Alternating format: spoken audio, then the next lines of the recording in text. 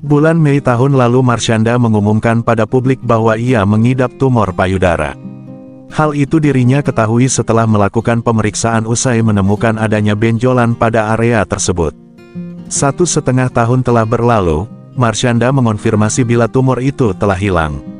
Marshanda pun mengucap syukur lantaran sempat diinfokan bahwa tumor itu bertipe ganas yang bisa menjadi sel kanker.